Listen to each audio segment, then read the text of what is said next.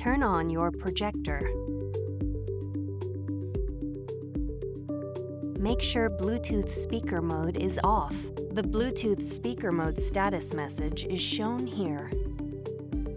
On the Android TV home screen, select Settings.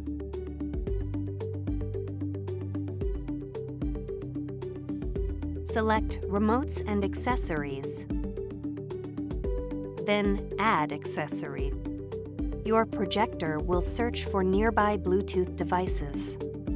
Select your device from the list.